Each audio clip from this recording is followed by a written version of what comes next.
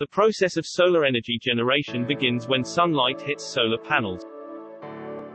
Upon receiving the sunlight, the panels begin to generate small amount of electricity, which is then collected and channeled through wires into the house for domestic use.